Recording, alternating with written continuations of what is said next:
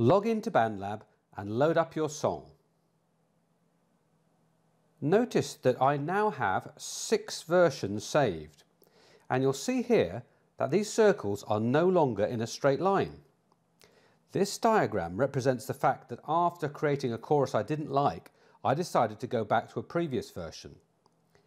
Then I branched out and created a new chorus. The last version I worked on is always shown in green. Your last version will always appear at the top and you can check by hovering over the date when exactly you created it. Click on the little white microphone.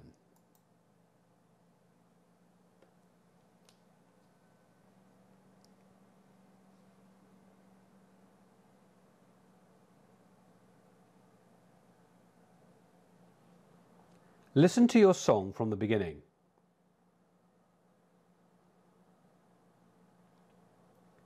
The break is just four bars long, running from bar 25 to 29. In the introduction, we created a slow build-up. Then came the big chorus. So we have reached a peak. We are now going to bring the song down before we start building it up again. That is the job of the break. We only need three or four loops in it, as we literally are just taking a short break from the main song. The break can sound a little different from the verse and the chorus.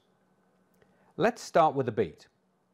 We're going to explore the search function to do this, as we can quickly find what we're looking for. To find the search function, we need to go to Loops, scroll down to the pack that you've used, And here we see search loops. So here I'm going to type in beat and straight away all the beats appear.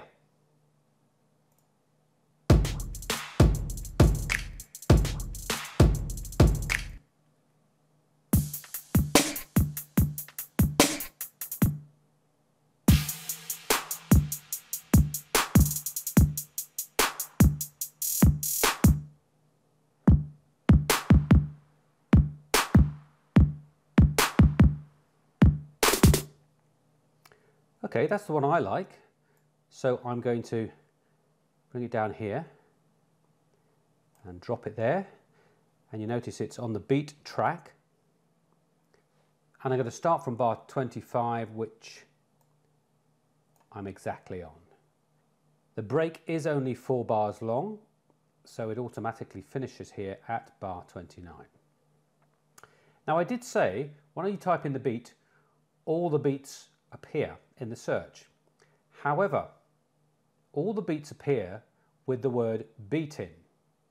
Now I've noticed that if I remove the word beat and have a look at all the beats and the grooves available, we'll see here Groove Factory.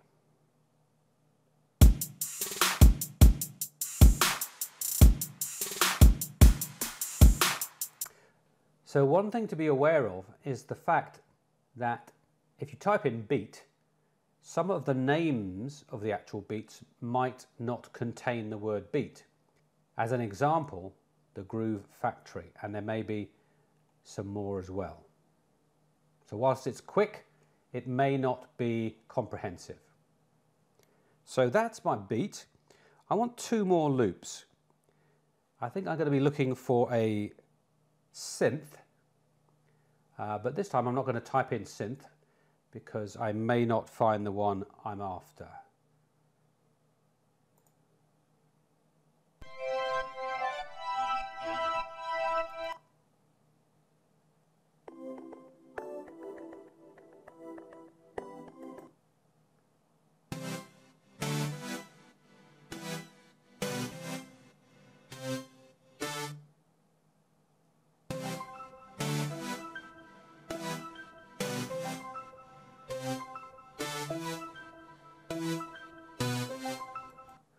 I like that. So let's try it. I'm going to put it on a synth track. Here's one on the top, guitar, synth or keys. Let's have a listen to those together.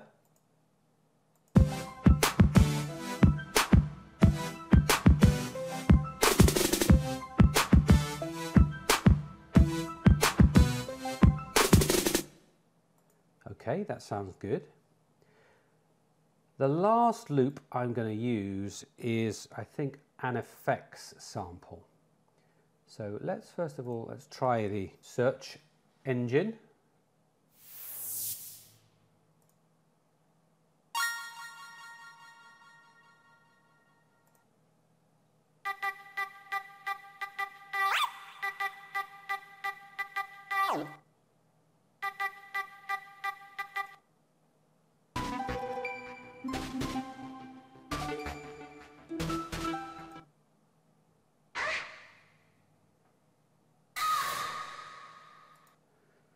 That's quite interesting.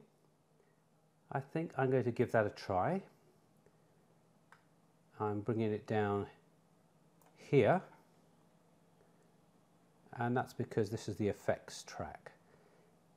And I want to keep all the effects on the same track all the beats all the bass and all the guitars synths or keys. Let's have a listen. From bar 25